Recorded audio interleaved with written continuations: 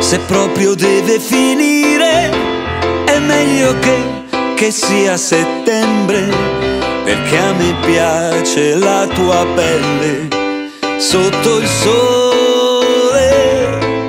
Oh yeah. Se proprio deve finire, facciamo le persone adulte, facciamo finta sia importante per educazione.